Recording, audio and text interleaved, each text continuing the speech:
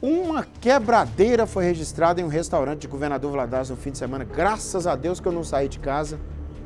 Fiquei dentro de casa. Que quebradeira é essa, hein? Que confusão é essa, hein? Ó, segundo o registro policial, um homem de 31 anos responsável pela ação informou aos militares que o proprietário do local devia a ele 10 mil reais de salários. Misericórdia. O Lucas Alves tem detalhe. Lucas, Lucas, eu vi a imagem ali, tudo jogado no chão, quebrado. Que confusão é essa, Lucas? Ô Nico, o fato aconteceu na madrugada desse domingo na região central de Governador Valadares, no estabelecimento comercial ali na rua Bárbara Eliodora. A polícia chegou no local e encontrou o homem bastante exaltado, é, segurando nas mãos uma marreta e um facão e quebrando tudo que via pela frente dentro do estabelecimento. O indivíduo foi abordado e contido pelos militares.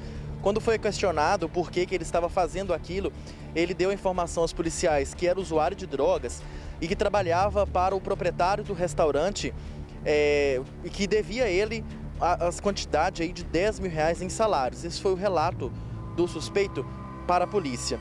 Ele trabalhava para o proprietário do restaurante numa empresa de lavagem de veículos ao lado do estabelecimento.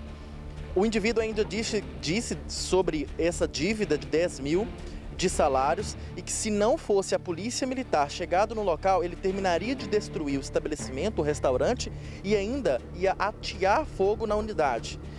É, o, a polícia técnica compareceu ao local, realizou ali os trabalhos de praxe, onde é, praticamente tudo estava dentro do comercial, dentro do estabelecimento, destruído, como a gente pode ver nas imagens.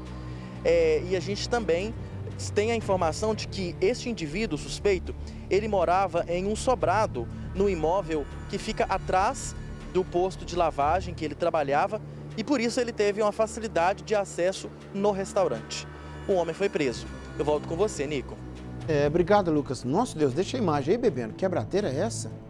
Foi ali no centro, na Barba Leodora, que ele falou? Barba Leodora? Não consegui identificar a altura desse negócio aí, mas quebrou tudo, olha. Aquela pá foi, teria sido usada nisso, Bebiano? Tô vendo uma pá caída no chão ali. Hã? Vai saber, né, Bebiano? Bebiano falando que não quer se comprometer, não. Olha lá uma pá lá. Aí, tem como não, né, Bebiano? É, nosso negócio aqui é dar notícia e ficar aqui, boquiaberto, né? É que a gente fica tentando achar com, como é que a pessoa quebrou tudo isso aí. Será que foi com aquela pá? É, foi com a fúria. É, fúria.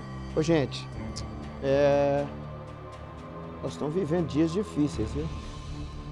Não tá brinquedo, não. É, não é brinquedo, não. As pessoas têm que ter uma outra forma de resolver esses conflitos, né? Já existe a lei, né? Já existe a justiça para ir lá e tentar os direitos, mas vai entender também, né? É. Eu não vou julgar, não vou ficar quieto.